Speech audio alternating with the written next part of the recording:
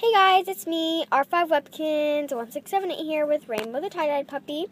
And anyways, I am so, so excited because in four and a half days, it's going to be Christmas.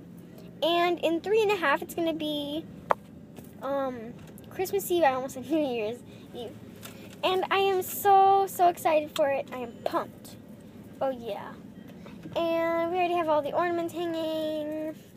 And I just love Christmas. It's my favorite holiday, besides my birthday, which is January 8th. So, oh my god. Tiger. Whee! All the way over there. Oh yeah. But, um, yeah, so if you guys would make some videos on Christmas, that would be great, because that's what I'm going to do. So, I hope you guys enjoyed this video and I will see you later. Bye.